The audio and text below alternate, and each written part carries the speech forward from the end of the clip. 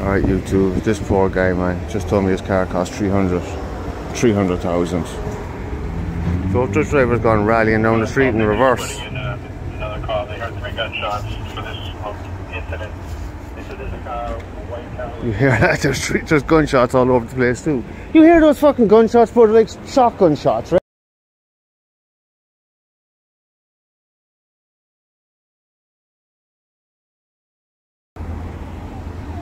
Yeah, so the cops aren't here to help this guy. Cops are here to fucking, I don't know, find some gunshots or something.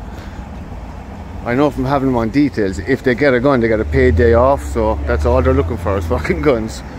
Which, come on guy, get this fucking stupid fucking van off this guy's Rolls Royce.